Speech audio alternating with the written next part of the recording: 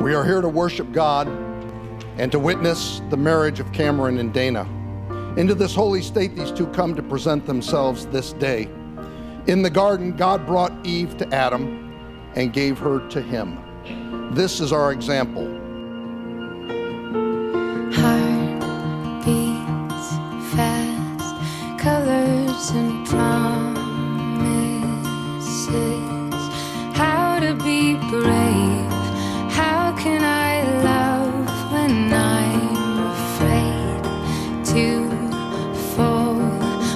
watching you stand.